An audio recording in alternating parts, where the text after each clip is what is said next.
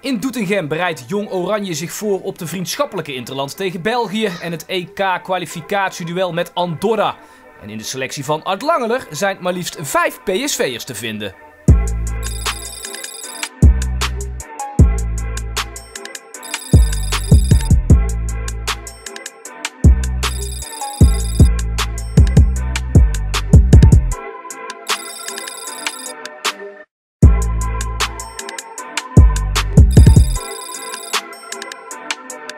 Altijd mooi om, uh, om voor je land te mogen uitkomen. Interland is altijd leuk om uh, ja, je weer te kunnen meten met andere landen. En uh, ja, belangrijke wedstrijd tegen Andorra voor de kwalificatie en leuke oefenwedstrijd tegen België. Een mooi weekje, andere omgeving, andere mensen, dus dat is ook wel eens lekker voor de verandering.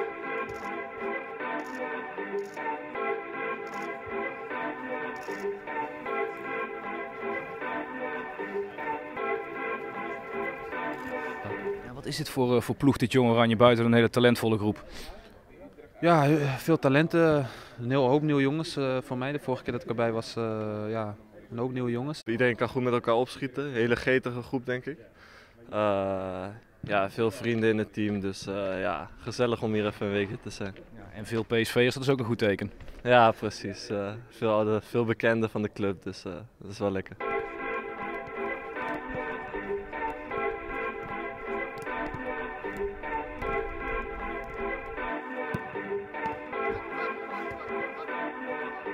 Vertel eens, wat is het voor, uh, voor week voor jullie? Waar bereiden jullie op voor voor de mensen die het misschien niet allemaal uh, goed op een rijtje hebben? We spelen de eerste wedstrijd in Nederland tegen uh, Jong België.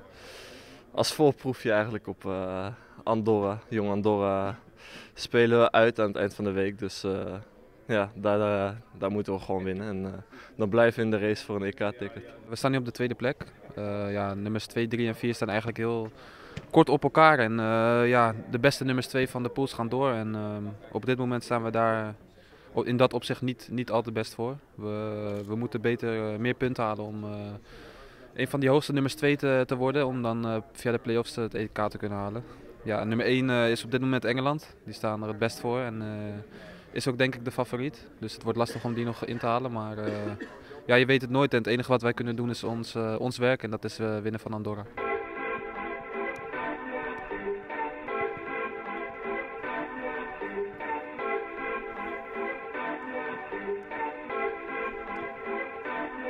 Zijn je persoonlijke doelen voor deze dagen, voor deze week?